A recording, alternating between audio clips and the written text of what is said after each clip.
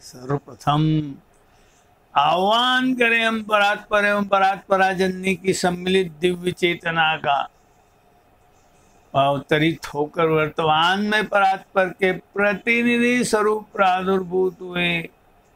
महायोगी, महर्षि शेरविन द्वारा विरचित सावित्री महाकाव्य के book one, canto three the yoga of the king the yoga of the soul's release छत्तीसवें पृष्ठ की छठी पंक्ति पर उनसत्तरवें इंस्टॉलमेंट में हमारी चेतना को अपनी चेतना के साथ रखकर ऊर्ध्वारोहण कराएँ, ताकि रखे गए भाव को, विचारणा को, मंत्रों को, सूत्रों को प्रकट होने पर हम ठीक ठीक देख सकें, सीख सकें, जान सकें, समझ सकें। तदनुरूप साधना के दुरूपद पर अपना कदम आगे बढ़ा सकें। इसी मनोभाव से हम प्रयत्न करते हैं, कहते हैं महायोगी his heights of being lived in the still self his mind could rest on a supernal ground and look down on the magic and the play where the god child lies on the lap of night and dawn and the everlasting puts on time's disguise गुरु के कुछ भाव को साथ रखकर सरल भाव की ओर आगे बढ़ते हैं राजा अशुपति को क्षर मरणशिला जीवन से मुक्त होकर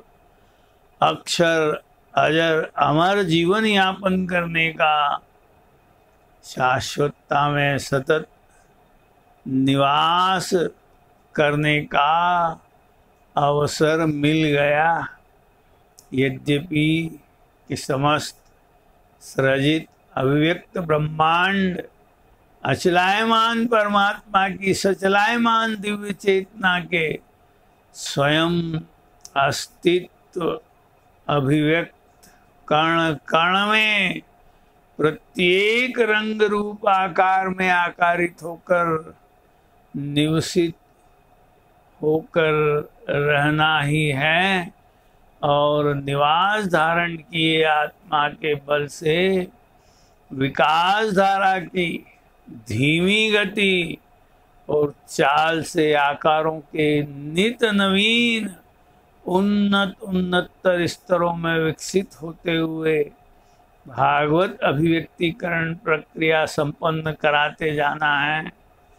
यह यात्रा विवेकहीनता और चैत्य यह यात्रा विवेक और चेतना जागरण की प्रारंभिक वेला, अज्ञान और ज्ञान जीवन के धारण कर लेने की स्थिति से गुजरते हुए आत्मा के नित नवीन क्रमिक अभिव्यक्तिकरण को संपन्न कराती जाती है। बाह्य आकार के क्रमिक उन्नत स्वरूप में अभिव्यक्ति तो अभिव्यक्ति तो काल से प्रभावित रहकर जीवन मरण प्रक्रिया से गुजरती है, किंतु जो अंतरात्मा का तत्व विकसित होता है, वह तो काल से परे ही होता है। ऐसे विकसित मानव स्वरूप में भागवत कर्ज चुकाने आए राजा अश्वपति की। समस्त सत्ता स्तर की शिखाएँ फैली पर्वत चोटी के समान। अब उस नीरव आत्मा के बीच बस गई। उसका मन जो कभी विश्व मन प्रवाहित सतत विचारों को धारण करके विचार शून्य न हो सकता था, विचार रहित न हो सकता था। अब आत्मा के चरम परम परा प्रदेश में पहुंचकर निवसित शाश्वत आनंद में रहने से ये सतत प्रवाहमान विचार, अब विश्राम कर सकते थे और विचार रहित, विचारों से मुक्त मन शाश्वतता में निवसित होकर, शाश्वतता के दिव्य विचारों को धारण करने की योग्यता वाला अब बन सका था। और सर्वोच्च पराशिखर से इस नश्वर धरती की समस्त जादू लीला को अब परात्पर में निवसित हो जाने से प्राप्त हुई दिव्य दृष्टि से जान सका, अनुभव कर सका। देख सका कि दिवस और रात्रि की नश्वरता गोदी में, वही शाश्वत भागवत शिशु छिपकर पड़ा हुआ है, सर्वत्र व्याप्त है।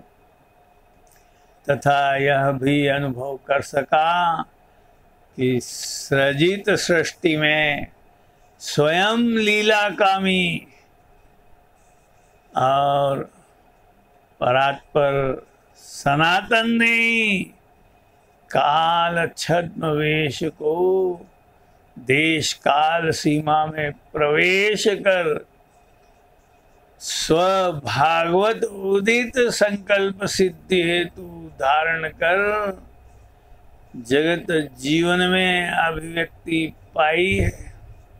आज हम इस सारगर्भित विषय को यही विराम देते हैं।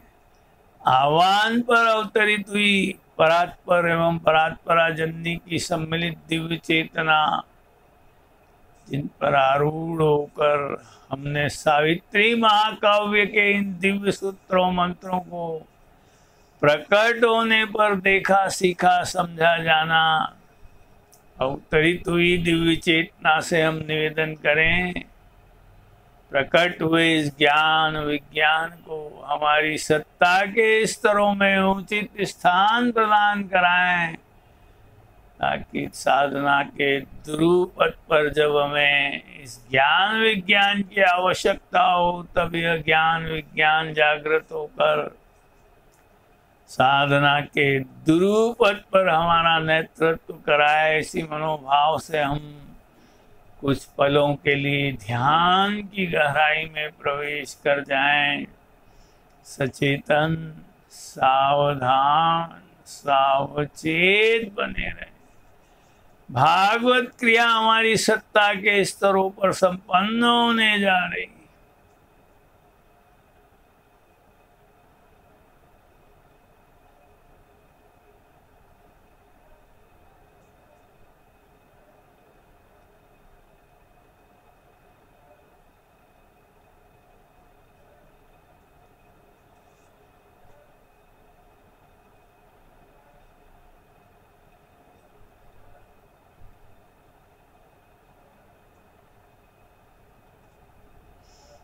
Oh.